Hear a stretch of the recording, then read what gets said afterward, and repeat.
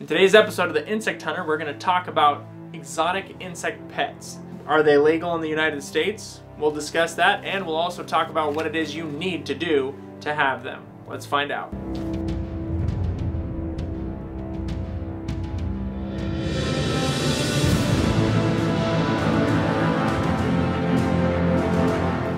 Purpose of this episode is to educate you and make you aware of different laws in regarding to insects, especially in the United States, and having them as pets. I'm not trying to offer legal advice in any way, so I have to give that disclaimer. If you need legal advice or need to know exactly what you need to do, then you need to contact the appropriate agency associated with the insects you may be transporting or trying to keep as a pet. So in this episode, I'm going to talk about different government agencies involved with getting a permit for insects like these. Then I'm going to talk with you about when you actually need a permit, why you need a permit, and how you actually get a permit. What is the process like? What are you going to have to do in order to have these legally? First off, let's talk about the main government organizations that are involved in this process. I'm mostly going to talk about the USDA and APHIS. The USDA is a government organization that mostly is focused on supporting agriculture, natural resources, and it carries out some other functions too. One of the agencies that exists within the USDA is APHIS, which is the Animal and Plant Health Inspection Service. One of the purposes of APHIS is to protect plants, food, natural resources, agriculture, all sorts of things around us. They're trying to protect that. That is their purpose, and they do this through inspections and other things that they carry out.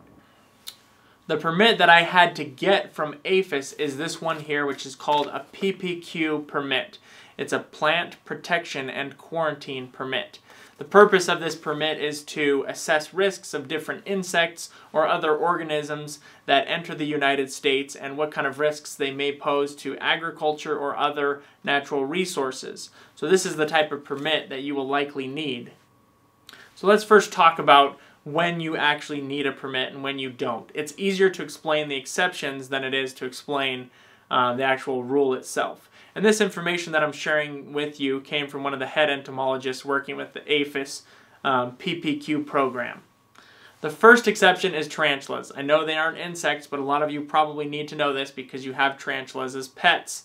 You do not need a PPQ permit for a tarantula as long as it was purchased or transferred somewhere within the United States. If you get one from out of the country, you do not need a PPQ permit either, but you will need a U.S. Fish and Wildlife permit for importing that from another country. So that's a totally separate permit. I haven't even messed with that. You'll have to check with the U.S. Fish and Wildlife on how to actually import one from a completely different country. But if it's raised here in the U.S. and it's a tarantula, you're good. You can have that up to this point without any issues with APHIS. The second exception is most cockroach species. So, for example, like my Madagascar hissing cockroaches, there's no special permit required for those. If I imported them from Madagascar, I may need a U.S. Fish and Wildlife import permit because I'm bringing them from out of the country. But if I'm doing it domestically, there's no issue with that. Um, I don't need any special permit in order to have them. The third exception is if you capture a native insect within the state that you're living in. So I'm in Idaho. So if I capture a Mormon cricket here in Idaho and I want to house that and keep it as a pet, I don't need any special permit. I don't need a PPQ permit, anything, even if it's a pest, because Mormon crickets are a pest. But the second that I try to go to Utah and get a Mormon cricket and bring it here to Idaho, now I do need a permit. So anything caught within the state that you live and is not transferred from another state, you do not need a PPQ permit. Um, but the PPQ permit is going to try and regulate and keep you from moving things across state lines and really check to make sure you're not moving stuff that could be harmful. Now, if I wanted to go to Utah and get a Mormon cricket and bring it up here to Idaho, I could do a PPQ permit and they'll probably approve it easily because they know that I'm not going to cause some crazy infestation since Mormon crickets are both in Idaho and Utah. But at the same time, um, that's good to know for those of you that are collecting insects. Anything you collect within your state, um, you can keep as a pet. Obviously, If it's an endangered species, then that's totally different. So let's start by talking about some things that do need a permit. First off, I'll talk about mantises. I know that mantises are a big insect pet. There's lots of websites that will sell them online. Even if they are purchased domestically, which means in the United States, you still need a PPQ permit.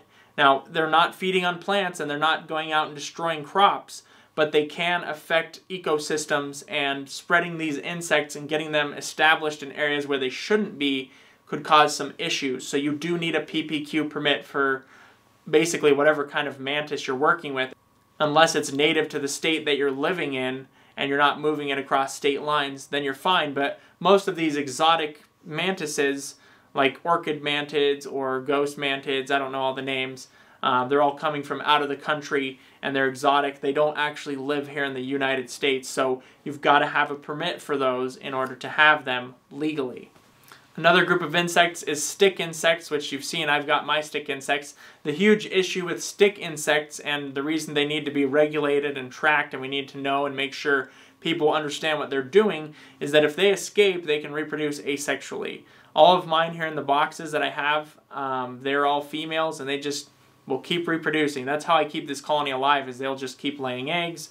I keep the eggs alive and uh, if they got out and loose, they can establish which has happened in the past, and I'll talk about that a little bit later. Another group of insects is caterpillars and butterflies. You can't just move those across state lines or have those um, unless you actually collected it in the state or purchased it in the state, um, and then you are, you know, keeping it in the state. So if I bought some caterpillars from someone in the northern part of Idaho, and they sent them down here to southern Idaho, the southern part of Idaho, if they are native to here, cool, I can have them. If they're not, I still have to have a PPQ permit. Another group of insects is bees because they're pollinators and they could disrupt certain groups of other insects and affect plants in ways that we're not quite sure. So that's another regulated group in which you'd need a PPQ permit. Also, different ant species, and uh, yeah, it's basically everything. And I know you're probably thinking, oh my gosh, um, I, I didn't know this, I don't understand this. Why are they being so strict? The purpose of all of this is to protect plants and to try and keep people from just moving things around without actually knowing what they're doing. If you know what you're doing and you have good, strong, sturdy containers and you're containing them properly and you're treating them properly, you're most likely going to get a permit as long as you're not handling something that's super dangerous or that's high risk. Because, you know, a lot of these things, if you contain them, nothing's going to happen. But they want to make sure that you understand and know how to contain these insects and keep track of them.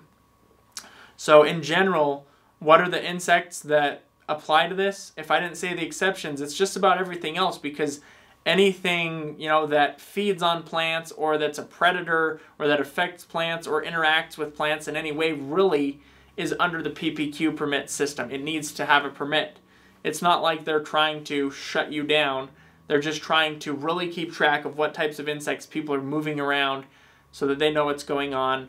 So what does it take to get these permits? My permit was free. I got an educational use permit, but there's also commercial permits. I'm not sure if they cost money, but if you're just keeping them at your house to educate people and uh, that's kind of a personal pet and things, I don't think there's going to be a charge for it. Um, don't quote me on that, but mine was free because I said it was educational use um, which you could probably make the case for. You know, you say, hey, well, every once in a while I go to insect expos or reptile shows and I show them to people and I teach people. So you could probably get an educational use permit that way by making a case.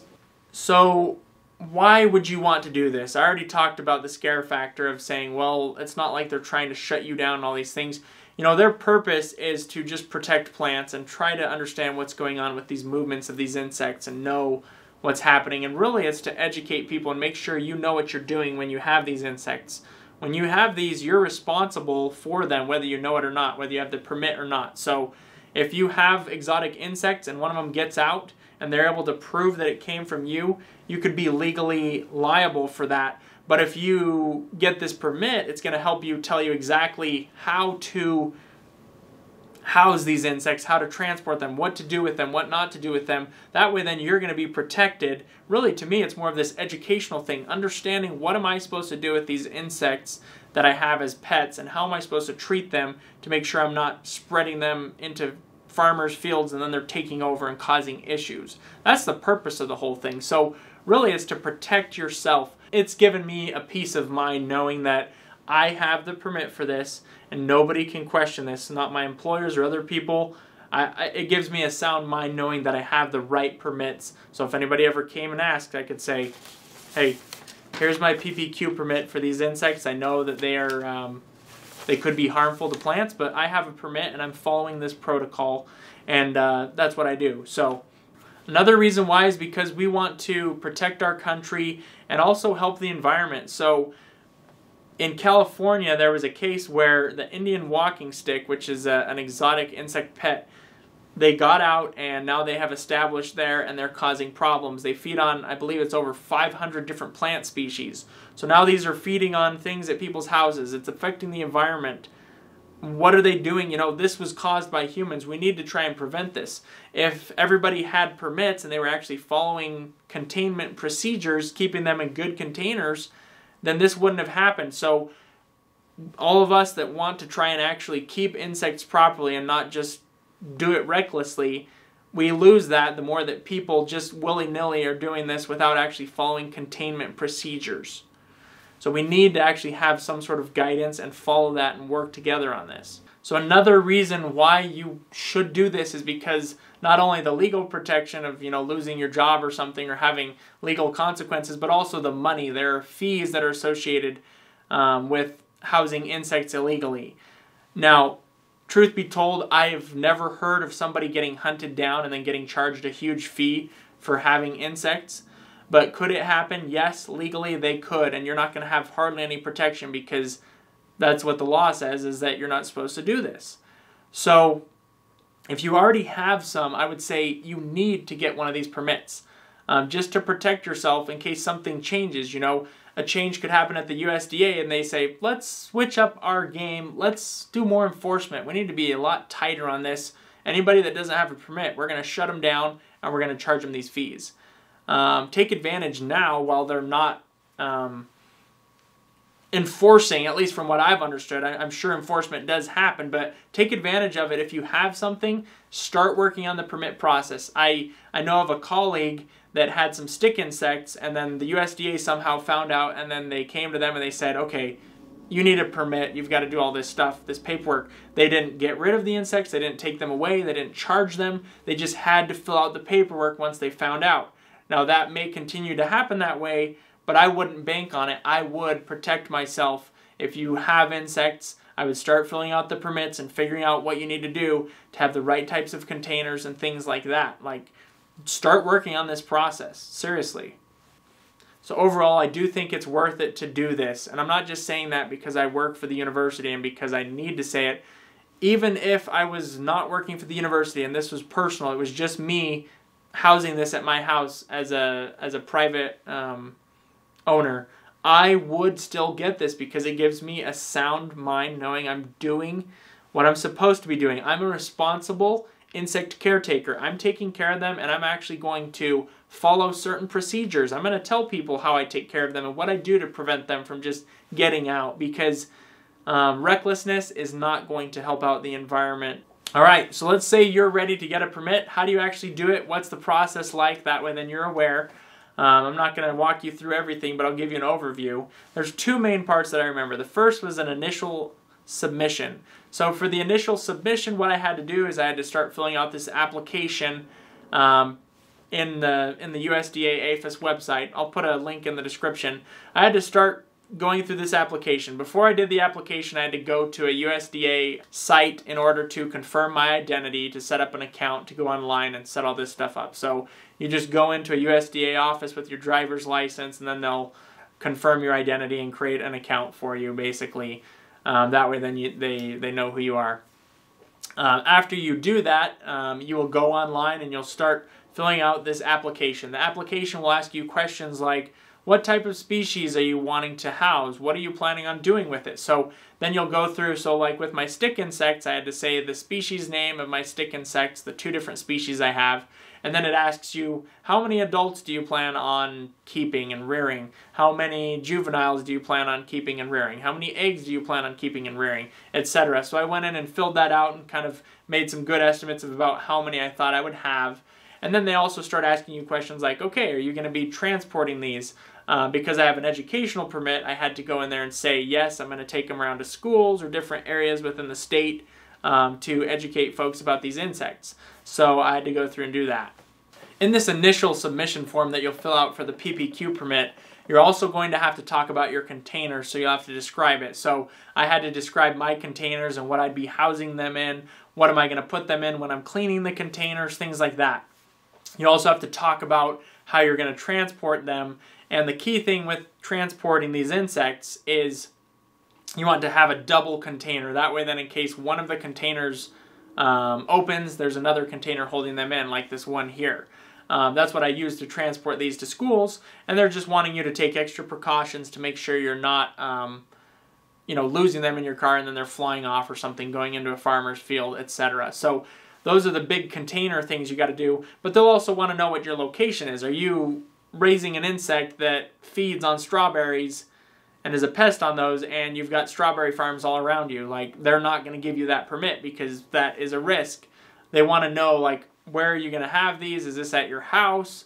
And then what's around your house? Is this an urban area? And they may also even want to know kind of about um, what the room is you're going to have them in. If you're doing a huge, large scale thing, um, you need to have them in a locked room or a separate room where they're going to be. But if it's, you know, one little thing of stick insects, um, you know, you could have those in your bedroom. You just say, well, we lock our house or something, you know what I mean, to keep people from coming in. That might be enough um, for what you're doing. But they want to know that. They want to know, like, what are you doing to keep them from getting out or people stealing them and releasing them, etc. And it all depends on how risky the insect is, but they still need to know and understand that you are working to make sure these aren't just getting out. Like your kids aren't playing with them without your strict supervision. My kids do play with them, but I, I, you know, I say that that's under supervision. It's part of the education. You know, letting kids hold them and handle them, and then uh, also they may ask. They'll say, well. How many are you going to let out at once? You know, if I say, oh, I'm going to let out 50 at once, you know, they're not going to approve that because if I have 50 of these things climbing on me, they're not gonna. Some of them could get away. Like that's not responsible. You've got to actually have a reasonable amount that you're letting out or showing to kids and stuff. So. Another key part that they'll want to know in this initial submission is how you're going to dispose of their waste um, or just kill them if they're, you know, if you're getting too big of a colony. So, like with my stick insects, I have to stick them into my freezer and leave them in there for a couple days. And I think the actual degrees of your freezer makes a difference as well. They want it to be, I think, under zero degrees Celsius or something like that. Um, but don't quote me on that. But it does need to be a very cold freezer to kill them. That's what I use. And I even have to take the materials like leaves and stuff like that out of there and put it in the freezer just in case there was an egg in there that could hatch. Um, they don't want me letting those get out and just start hatching, you know, even if it's in the, in the garbage heap somewhere we don't want them doing that. We want to actually contain them. I also had to include in my permit what I was going to do with the eggs. I had to have a different container, which is what I use, but I had to explain this is where I'm going to keep the eggs and this is how I'm going to handle and work with the eggs. They, they want to know that as well. They want to know what you're doing with all the life stages um, of the insects.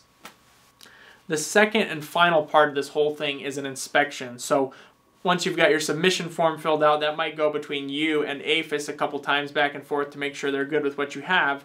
And you'll also need to take a bunch of pictures and send those to them because they'll want to see what kind of containers you're using and such. But then they'll actually send someone to come and inspect. They'll look at your container, they'll look at the insects, they'll look at kind of, they may ask some questions and may take more pictures. Um, but after that, um, I just had to wait a few weeks, and then I got an email with a confirmation. Then they sent me my permit. So the inspection is kind of the last stage of this whole thing: is someone actually coming out physically and checking to make sure you actually are legitimately raising these insects responsibly. So in conclusion, I just want to say. Be cautious when you're purchasing insects online, especially here in the United States to make sure you understand the laws associated with moving insects across the state and housing them, especially when they are not native to the state that you're living in.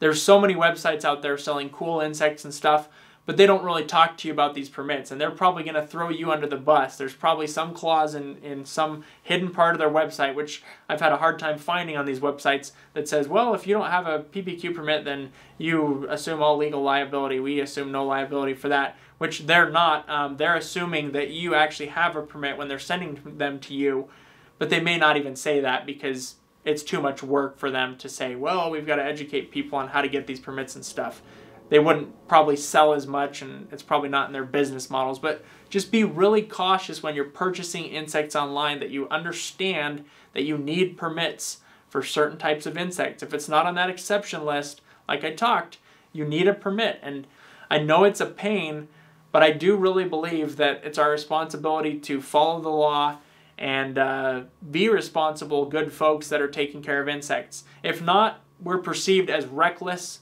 insect caretakers um, or people raising them, breeders, whatever you want to call us, we, we are perceived as reckless because we just we don't have any code that we follow. Most of us already have a code, but the government just wants us to follow the same code and make sure we're all being responsible. They want to educate us and uh, have us take care of these insects in a way that will keep our country safe and clean and then also allow us to use them for education. They, they want us to be able to go out and educate people. They are not trying to go out and shut down 12 um, year old boys that have some stick insects in their house that are really interested in insects. If they if they found out about that, they'd say, "Oh, you know, let's let's help them get the permit. Let's help them stay interested in entomology. We don't want to shut down those desires, but at the same time, they need to know, and that could change if if the USDA decides to change the the way they're doing things, they could start enforcing. So let's let's be responsible insect caretakers and fill out these permits and get this work done. Again, in the description of this video, there's a link that will take you to um, the USDA website where you can start working on this permit process in the USA. And uh, I hope you guys will do it. If you have questions, please let me know below. I'd like to hear your questions. Um, if there's reasons you've been hesitant about doing it, then let me know in the comments. If you've done one of these permit processes before, let me know what your experience was working through it. It was a long process, but it's been worth it for me. And I hope you guys will take the chance to like this video if you enjoyed it and learned something, and subscribe to stay tuned next time where big adventures start small. Thanks for watching.